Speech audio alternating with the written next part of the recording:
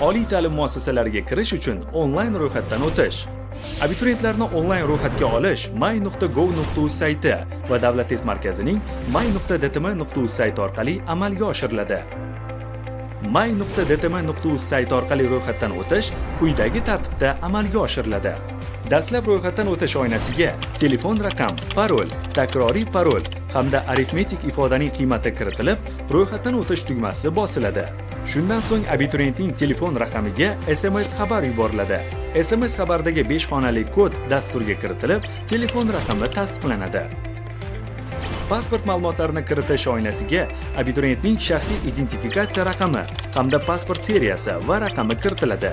So'ngra shaxsiy ma'lumotlardan ish jarayonida foydalanishga rozilik bildirilib saqlash tugmasi bosiladi. Doimiy yashash manzili oynasiga pasport bo'yicha doimiy ro'yxatga olingan manzil kiritiladi. Bunda abituriyentning doimiy ro'yxatga olingan viloyati va tumani dastur orqali tanlanib to'liq manzil yoziladi. Masalan mustaqillik ko'chasi 61 uy.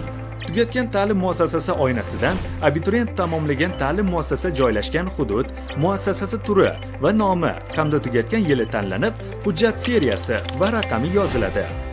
Agar abituriyentning tugatgan ta'lim muassasasi dasturida mavjud bo'lmasa muassasa turidan boshqa o'quv yurti tanlanib muassasa nomi yozma kiritiladi.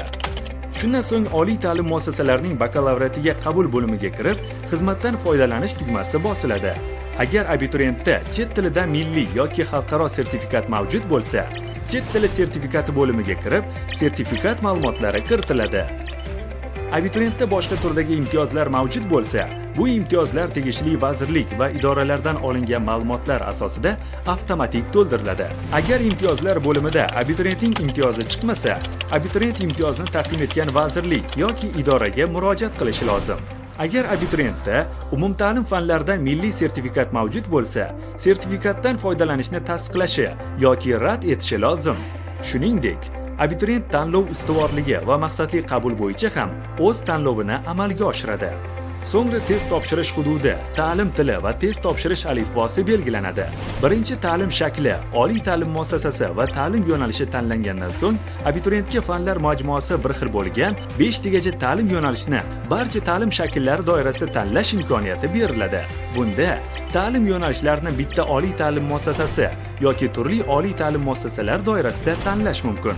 Agar abituriyent tanlagan ta'lim yo'nalishlarining fanlar majmuasida chet tili mavjud bo'lsa tegishli chet tili ham tanlanishi lozim. Shundan so'ng ma'lumotlarni tasdiqlash uchun abituriyentning telefon raqamiga sms xabar yuboriladi. Sms xabardagi 5 xonali kodni dasturga kiritish orqali ma'lumotlar tasdiqlanadi. Ma'lumotlar tasdiqlanganidan so'ng abituriyent qayd varaqasi shakllanadi. Qayd varaqada abituriyentning shaxsiy ma'lumotlari tanlagan ta'lim yo'nalishlari test topshiriladigan fanlar test topshirish hududi imtiyozlari abituriyentlarga eslatma va abituriyent ro'yxatga olingan vaqt aks etgan bo'ladi. Yuklab olish tugmasi orqali abituriyent qayd varaqasini yuklab olishi mumkin. Abituriyentlar ro'yxatdan o'tish muddati tugagunga qadar o'z ma'lumotlarini o'zgartirishlari va qayd varaqasini qayta yuklab olishlari mumkin. Qayd varaqasining quyi qismida test sinovi uchun to'lovni amalga oshirish kerak bo'lgan abituriyentlarga invoys hosil bo'ladi. To'lovni amalga oshirish bilan ro'yxatdan o'tish jarayoni yakunlanadi. To'lovni klik payme upay paynet kabi elektron to'lov tizimlari yoki bank kassalari orqali amalga oshirish mumkin. Bunda nogironligi bo'lgan shaxslar to'liq davlat ta'minotidagi shaxslar ijtimoiy himoya yagona reyestri axborot tizimida ro'yxatga olingan shaxslar va ularning farzandlari yoshlar daftariga kiritilgan yoshlar va ta'lim muassasalarini joriy yilda tugatgan abituriyentlardan to'lov undirilmaydi. Sizga test sinovlarida muvaffaqiyat tilaymiz!